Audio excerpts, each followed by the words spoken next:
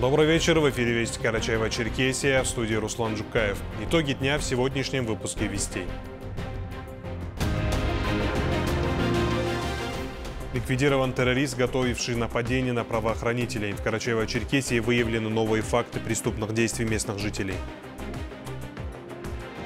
Служба лесной пожарной охраны Карачаева-Черкесии обеспечена специализированной техникой на 100%. Сегодня региональная служба получила 4 новые единицы. Имидж женщины-матери как фактор интеграции многополярного мира. Сегодня в Черкеске стартовал Международный женский конгресс. Офицеры России сегодня в Черкеске почтили память бойцов, погибших в зоне проведения специальной военной операции.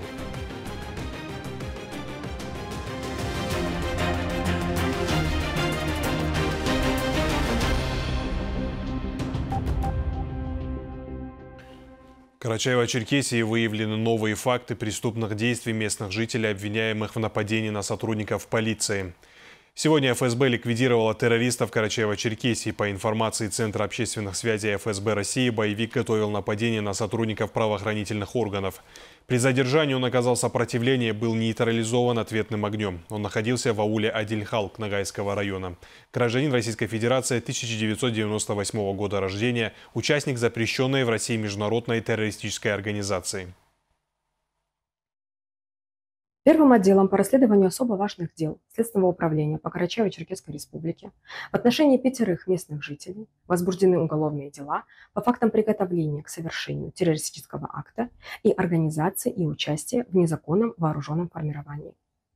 По данным следствия, один из фигурантов организовал и возглавил на территории Карачаево-Черкесской республики незаконное вооруженное формирование, в состав которого вошли четверо его знакомых, объединенных между собой религиозно-экстремистскими взглядами радикального характера. В составе указанной группы обвиняемые совершили в апреле текущего года два нападения на сотрудников полиции для хищения оружия и боеприпасов к нему с целью подготовки в дальнейшем террористического акта. В ходе боестолкновения 29 апреля фигуранты были ликвидированы. В настоящее время уголовные дела соединены в одно производство. Следователями Следственного управления продолжается сбор и закрепление доказательственной базы. Пополнился автопарк региональной службы пожарной охраны Карачаева-Черкесии. Сегодня ключи от машин вручил заместитель председателя правительства республики Евгений Гордиенко и министр природных ресурсов и экологии региона Диана Качкарова. Приобретена техника в рамках федерального проекта сохранения лесов» нацпроекта «Экология». О плюсах новой техники узнала Альбина Ламкова. Удобно? Удобно. Удобнее, чем на иномарках. Лесопожарная техника огнеборцев обновлена на три грузопассажирских автомобиля. Еще приобретен прицепной модуль. Ключи от машин вручил вице-премьер республики Евгений Гордиенко. Он поблагодарил работников лесного хозяйства за их труд. Затем осмотрел машину и поинтересовался ее характеристиками. Ему рассказали особенности эксплуатации. Транспортное средство оснащено сдвоенной кабиной повышенной проходимости. Машина предназначена для патрулирования лесов и других природных ландшафтов, а еще для перевозки людей и пожарного оборудования. Также в кузове находится бочка. В ней помещается 500 литров воды. Борт кузова откидывается, боковые задние стенки тента сворачиваются и обеспечивают свободный доступ для работников лесного хозяйства и пожарных служб к оборудованию, размещенного внутри кузова. С бочки в ранце можно набирать воду и в помпу тоже пускать.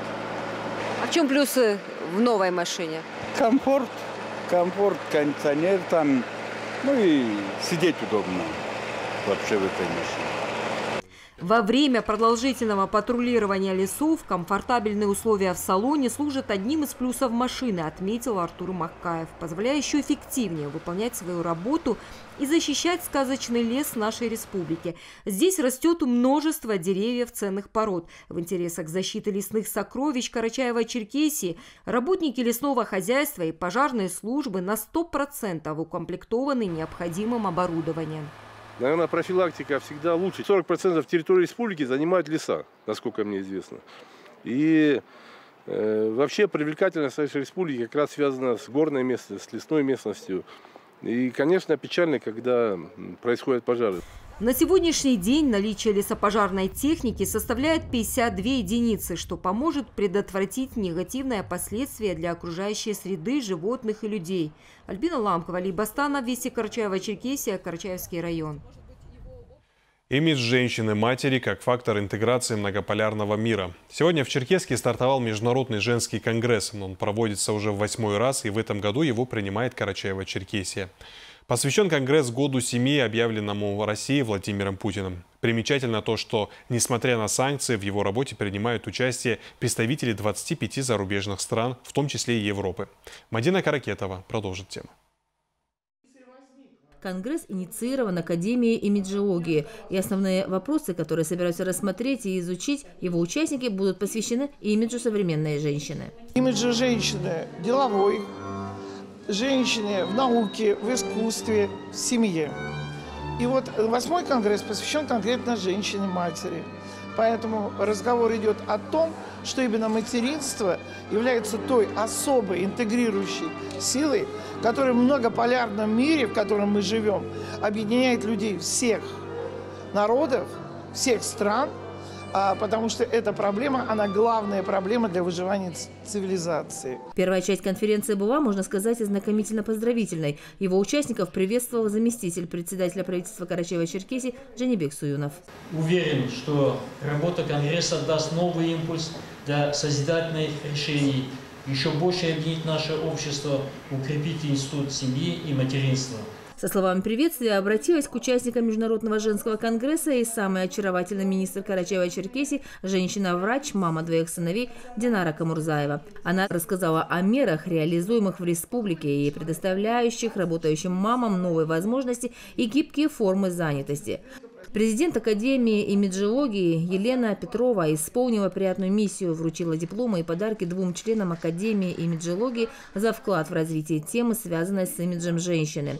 Вторая часть конференции будет состоять из мастер-классов. У нас э, международные мероприятия, поэтому в рамках нашего мероприятия мы услышим мнение женщин разных стран, что очень приятно, что в условиях санкций не только страны бывшего СНГ к нам подключаются и женщины рассказывают о том, как они видят эти меры поддержки, но и а, Франция, Бразилия, Италия, Тунис, а, понимаете, то есть страны э, от нас очень далекие, казалось бы, и в условиях санкций все равно вот эта тема объединяет народы, объединяет женщин, и мы услышим замечательных людей, которые подключатся и расскажут нам об этом. И это очень приятно. Международный конгресс женщин рассчитан на три дня. А поскольку в этом году он проводится в рамках года семьи, то его работа будет направлена на выработку определенных мер поддержки женщин-матерей и перевода их на федеральный уровень, чтобы женщины-матери во всех регионах России находились в одинаковых условиях поддержки со стороны государства, отметила Елена Петрова. Дина Каракетова, Олег Малхожев, Вести Карачаева-Черкесия. Россия соединяет сердца. На международной выставке форуме «Россия» проходит Всероссийский свадебный фестиваль. Сегодня героями стали 12 пар из регионов Северокавказского, Южного федеральных округов, а также из Луганской и Донецкой народных республик. Среди них и наши земляки Евгения Авдиенко и Анастасия Бобровская из Зеленчукского района. Анастасия работает в местном ЗАГСе, а Евгений в специальной астрофизической обсерватории РАН. Для пар была подготовлена насыщенная программа, красочное шествие, церемония бракосочетания и яркое выступление творческих коллективов, артистов и музыкантов, в том числе из Карачаева-Черкесии. Кроме того, молодоженам передали огонь Всероссийского семейного очага «Сердце России», который был зажжен на торжественной церемонии старта года семьи с участием президента Владимира Путина. Глава Карачаева-Черкесии Рашид Тимрезов поздравил Анастасию и Евгения с замечательным и таким важным событием. И штормовое предупреждение в связи с наличием на некоторых участках автомобильной дороги Черкесск-Домбай угрозы падения деревьев МЧС напоминает соблюдать правила остановки и стоянки транспортных средств. Сейчас прогноз погоды на завтра, а после мы расскажем о задержании партии безакцизной продукции, мероприятий памяти бойцов СВО и скандинавской ходьбе.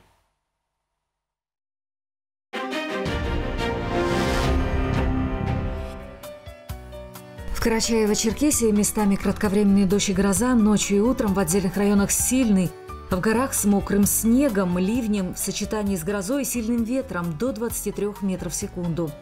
Ночью и утром в отдельных районах туман, ветер западный 6-11 метров в секунду. Температура ночью 3,8, в горах минус 4 плюс 1, днем 13-18 выше нуля и местами до плюс 9. В Черкеске ночью и утром кратковременный дождь гроза, днем без существенных осадков. Ветер западный 6-11 метров в секунду. Температура ночью 6-8, днем 15-17 градусов тепла.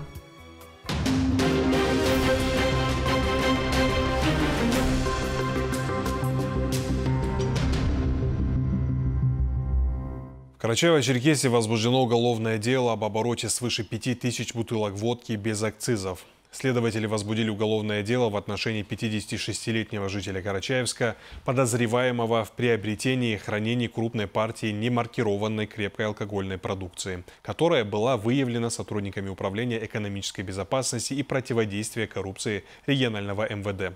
Общая рыночная стоимость изъятой продукции превысила миллион рублей. Фигуранту избрана мера пресечения в виде подписки о невыезде.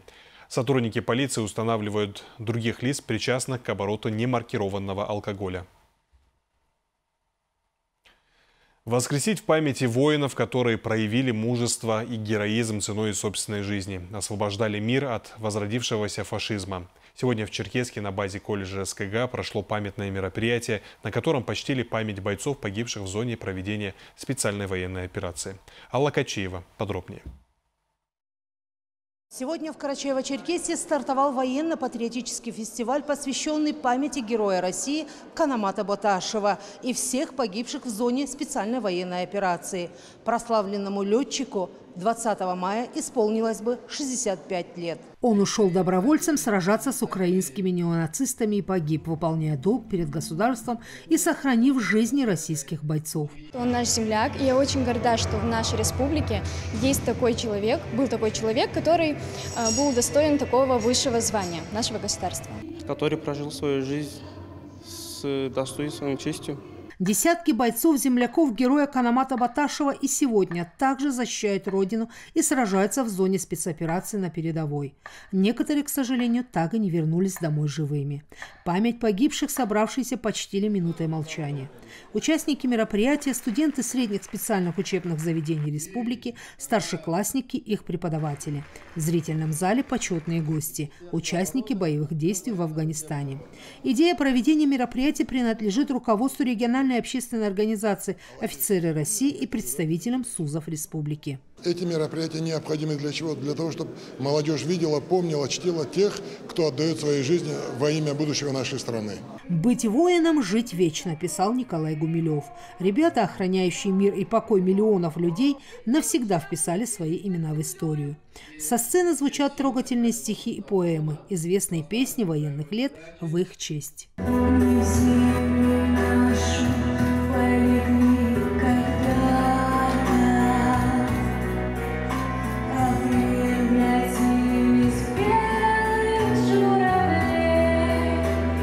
А еще студенты представили небольшую инсценировку начала Великой Отечественной войны. Молодые люди донесли до зрителя главную мысль и значение военно-патриотического фестиваля. Во все времена весь российский народ всегда, как один, вставал на защиту Родины. Быть такими же достойными гражданами своей страны, истинными ее патриотами, продолжая славные традиции предков, пожелал и брат героя России Канамата Ваташева Мурадин Хусеевич. У него принцип и девиз жизни был так, таков. Помнить прошлое, опираться на настоящее, смотреть будущее и не останавливаться в развитии. И он, соответственно, это притворял реально в жизнь. И я вот сегодняшним ребятам пожелал то же самое, чтобы они не останавливались в своем развитии. Алла Качиева, Олег Малхожев, Вести Карачаева-Черкесия. Русский язык и литература – вопросы изучения и преподавания. Сегодня в Карачаево-Черкесском госуниверситете стартовали 20-е Кирилло-Мефодьевские чтения, приуроченные Дню славянской письменности и культуры. На Всероссийской научно-практической конференции лингвисты поднимали такие вопросы, как сохранение и развитие языка в цифровую эпоху, методика обучения в средней и высшей школе, различные исследования в контексте филологических наук. Впереди выходные, многие любители Всемирный день, во Всемирный день скандинавской ходьбы выйдут на улицы, чтобы продемонстрировать свое отношение к активному и здоровому образу жизни. Энтузиасты Карачаева-Черкесии проводят различные мероприятия по ходьбе с палками для привлечения новичков к этому прекрасному фитнесу. Мастер-классы и праздничные занятия. Стоит отметить, что скандинавская ходьба становится все популярнее в нашей республике. В Черкеске есть целое сообщество тех, кто увлекается этим видом спорта, и присоединиться к ним могут все желающие. Это все вести на сегодня. Прямо сейчас смотрите шоу «Удивительные люди». Всего доброго и до встречи в эфире.